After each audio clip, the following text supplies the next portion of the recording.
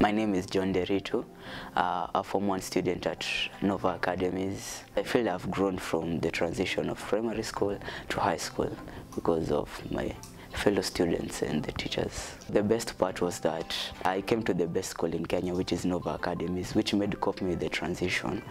My biggest dream is that I'm willing to change the background which I'm from, and I'm willing to change Kenya.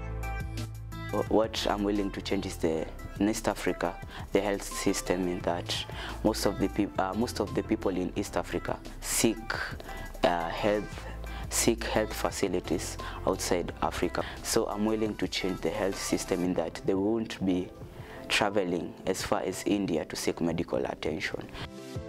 My aspiration is to become a microbiologist. I would like to deal in biochemistry or medicine. So my aspiration is to do medicine or uh, biochemistry.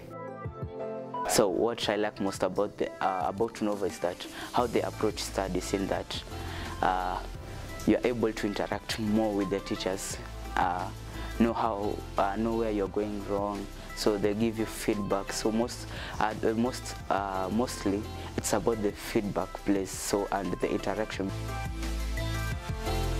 So it helped me as, uh, as a student to grow and know that next time, let's say in the upcoming assessment or a quiz in class, I can connect the failure from the last assessment, the feedback, and give a better response in the coming assessment. So the advice which I'd like to give the classes students is that you're the driver of your life.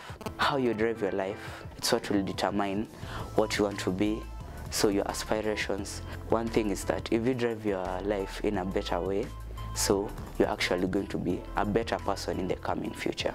I went to St. Mary's Ruaraka and St. Mary's Maragua Region Broad.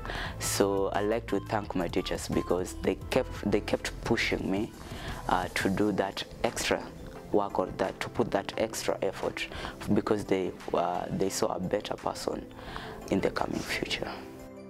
Dare to dream.